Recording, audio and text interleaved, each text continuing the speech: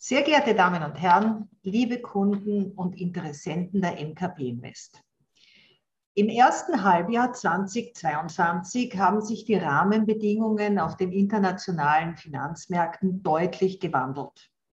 Gestiegene Inflationsraten, galoppierende Energiepreise mit einem zusätzlichen Stichwort Energiewende, die kriegerische Auseinandersetzung in der Ukraine und äh, die weiteren Konsequenzen der Covid-Pandemie für, aber nicht nur für die Lieferketten, äh, die uns international beschäftigen, haben zu, einer deutlichen, zu einem deutlichen Bewertungsrückgang auf den Aktien- und Anleihmärkten geführt. Ausgehend von dieser Situation möchten wir uns heute mit den Fragen auseinandersetzen, wie eine optimierte Positionierung für das zweite Halbjahr aussehen sollte und welche Chancen die aktuelle Marktsituation bietet. Die FED hat wieder einen Dreiviertel Prozentpunkt die Zinsen erhöht, die EZB hat vor zwei Wochen einen halben Prozentpunkt erhöht. Wir sind also mitten in einem Zinserhöhungszyklus. Das ist in Amerika der stärkste oder aggressivste seit den 1980er Jahren. Wir sehen eine Normalisierung. Ja, und das muss man bitte für alle, die, die ein bisschen jünger sind, ganz deutlich sagen. Zinsen sind etwas Normales. Wir, wir wollen das, wir brauchen das und es ist auch logisch. Aber mittelfristig sind wir positiv auf Anleihen. Duration ist eine Sache, die mit Vorsicht zu genießen wird. Also das 10-jährige, 30-jährige Segment wird sicher äh, volatil bleiben. Aber jetzt bei den Anleihen auch noch einmal, dieser Pull-to-Par-Effekt, sprich am Ende des Tages ist die Anleihe immer, kommt die immer mit 100 zurecht zurück, es sei denn, es fällt, äh, fällt das Unternehmen aus. Äh, ich glaube, ein guter Teil des Schmerzes ist hinter uns. Das sind hier die Aktienmärkte und der obere Markt ist wieder mal der Standard Poor's. Schaut ganz toll aus, wunderbar.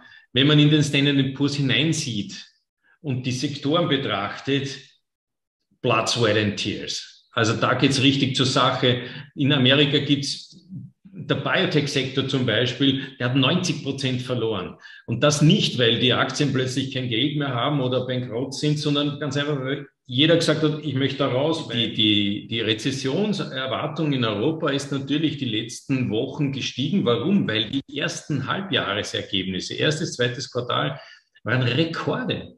Irre. Also die haben die ganzen Aufträge, die sie die letzten Jahre äh, gesammelt haben oder die Qualität, die sie äh, ange, äh, sich anerarbeitet hatten, äh, auch wirklich umgemünzt. Es ist, es ist wirklich trotz dieser Gegenwinde, die wir hatten mit, mit äh, Corona, Ukraine etc., also du, du, du bekommst wirklich positive Signale aus dem Markt. Wir können damit umgehen. Die, die, Bewertungen der europäischen Unternehmen, natürlich nicht aller, ganz klar, daher auch diese Sektordivergenz, aber die haben sich doch dem Umfeld teilweise übermäßig stark korrigierend angepasst. Und das schafft die Möglichkeit und die Chance zu sagen, jetzt blicken wir mal durch diesen Nebel durch.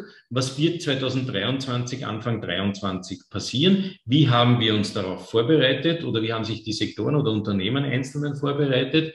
Wie groß ist daher dieses Angstreservoir noch, das wir als Basis unserer jetzigen Bewertung befüllt oder nicht befüllt haben?